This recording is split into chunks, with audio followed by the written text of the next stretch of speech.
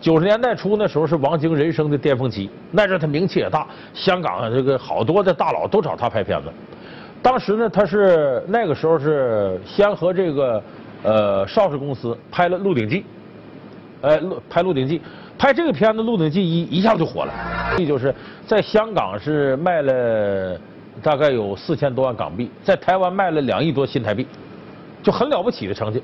所以他当时九二年名声大噪，再加上这《赌神》，我们都知道这片子给他奠定了一个非常好的基础。这时候呢，各路人马都找他拍片子。